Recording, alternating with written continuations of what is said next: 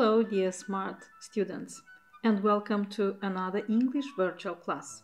Our topic is the house we live in, and today we are going to practice English sounds pronunciation, learn new words, read a text about a house, complete some reading comprehension exercises, and revise the use of an English structure.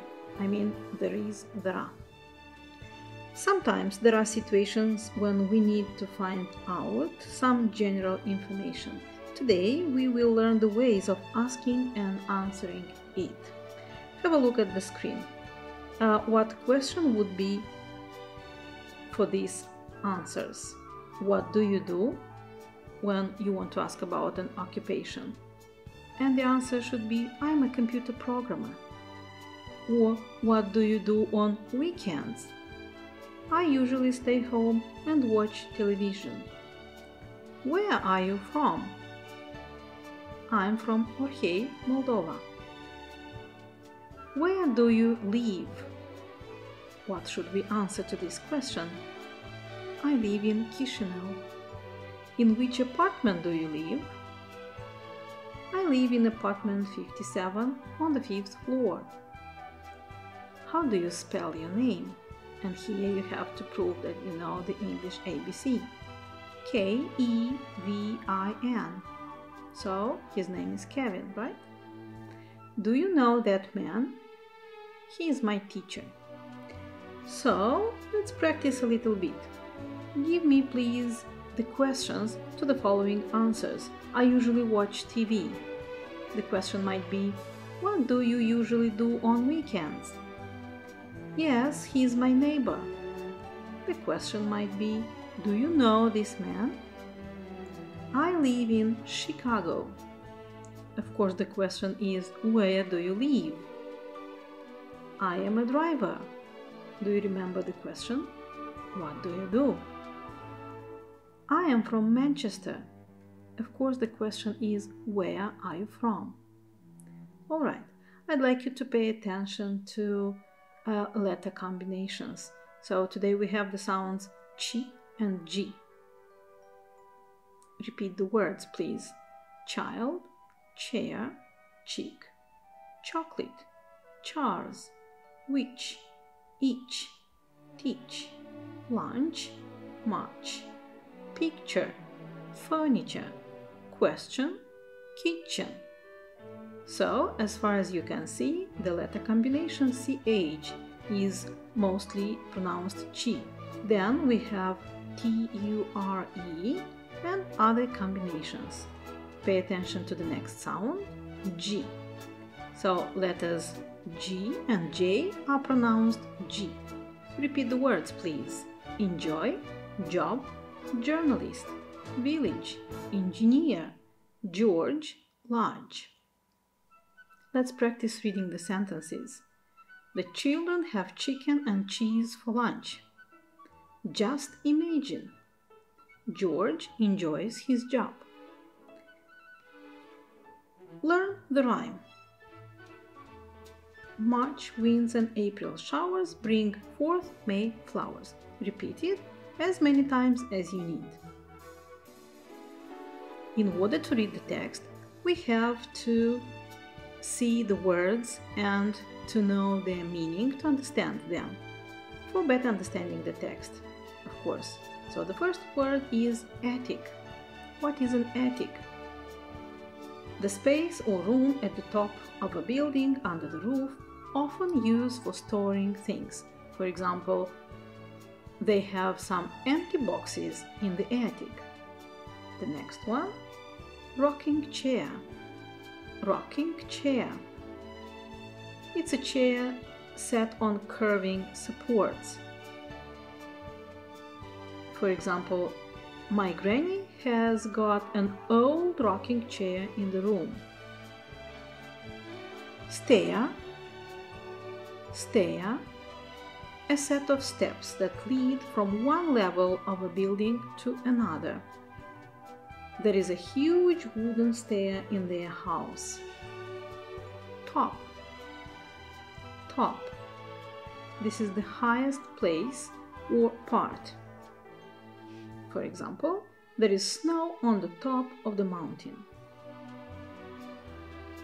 Next word, stay with. Stay with. It means to remain in a place as a guest. I stayed with my grandparents during the summer vacation. Married. Married means having a husband or a wife. My brother is married. His wife's name is Lucy. Especially. Especially. Particularly. He bought nice flowers especially for her. Okay, so to prove that you already know the words, please give the words to the following definition. Particularly, especially. The highest place? Of course, the top.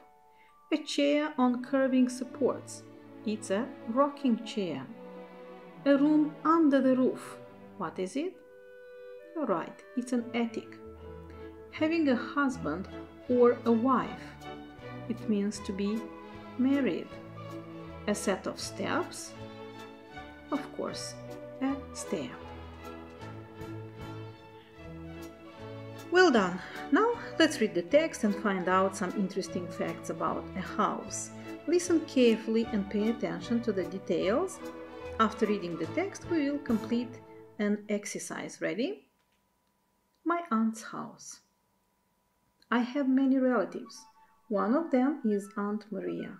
She is my father's youngest sister. She is married, but she has no children. She lives with her husband in a nice house near the park. The house isn't very large. It has three bedrooms, a living room, a kitchen, a bathroom, an attic, and a hall. I often stay with my aunt and her husband. In the evening, we get together in the living room. It's the largest room in the house. There is a nice fireplace in it. I especially like to be there in winter when it's cold and there is snow outside. I feel warm and comfortable in this room. Aunt Maria usually sits in the rocking chair in front of the fire. My uncle and I sit in armchairs. In summer, I like to play in the attic. It's at the top of the house. There are some stairs up to it and a very small door. There are a lot of old things in it. There is an old bed next to the wall. There is a desk, a big table, and some chairs next to the window. In the corner, there is a cupboard. It's full of old toys and dolls. Aunt Maria played with them when she was a child. There aren't any curtains, but there is an old brown carpet on the floor. I know you have listened very carefully and now are ready to complete some exercises. Please use the text to complete the sentences, I mean some words from the text. The name of Tina's aunt is Maria. You're right. She is her father's youngest sister. Where does she live? She lives in a nice house near the park. She has three bedrooms. Next sentence is In the evening they get together. Tina feels warm and comfortable in the living room. Aunt Maria likes to sit in the rocking chair. There are many old things in the attic. Good job! Now it's time to revise some vocabulary. You have studied before and you already know the names of rooms and furnitures. Today we have to revise these, these words for you to remind them. And uh, let's have a look. This is a room. What room is it? It's a living room. What do we have in a living room? So, in a living room, there is a sofa or cushions on it or armchairs next to the sofa.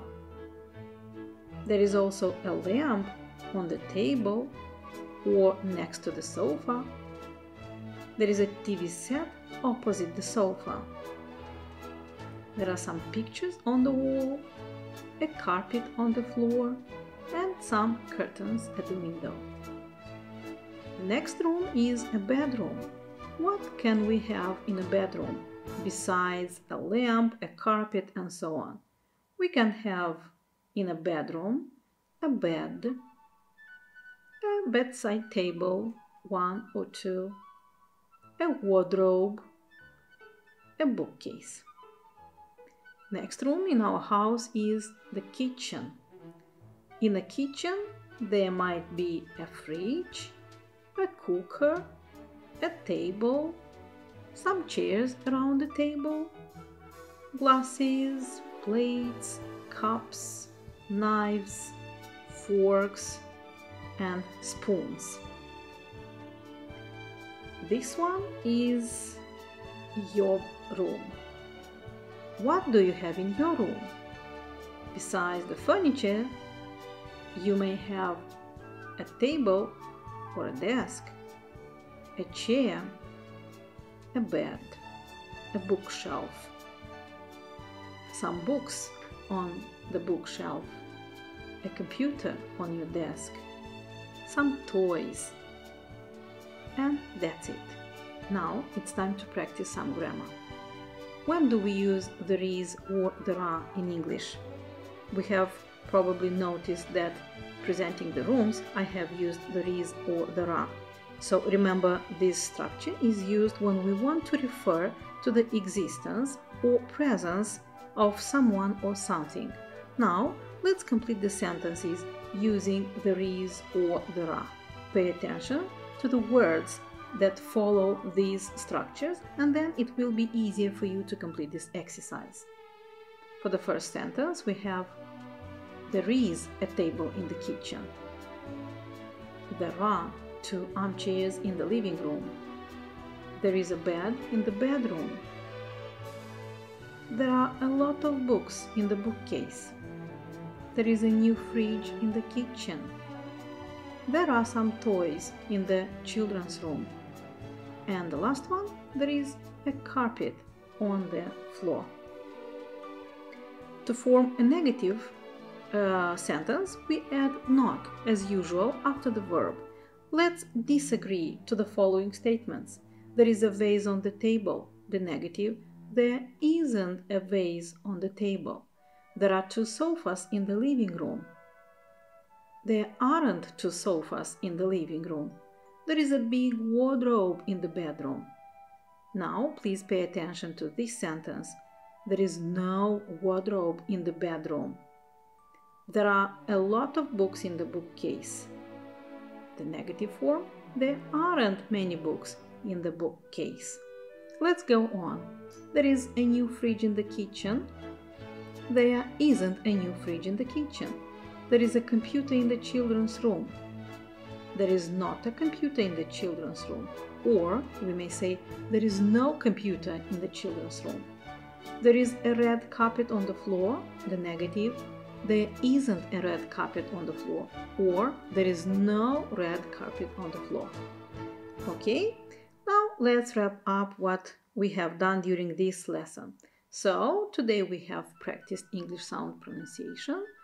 We have learned new words and revised the studied one. I mean about rooms and furniture in, uh, in them. Uh, then we have read a text about a house, we have completed some reading comprehension exercises, and we have revised the use of the English structure there is, there are. That's it for today. Bye for now.